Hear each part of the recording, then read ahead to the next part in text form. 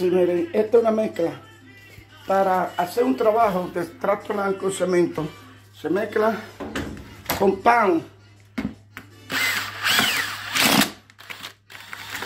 Un poquito de compound, un poquito de cemento, para así poder sellar todos los huecos que hayan, como uno que yo estoy haciendo aquí.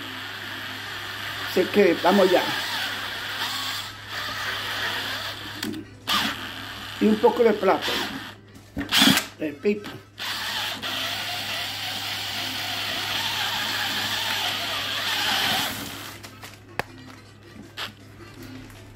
Vamos a el cubo ahí. Entonces se convierte en extracto lime con cemento. Ya que no está el extracto lime, entonces esto.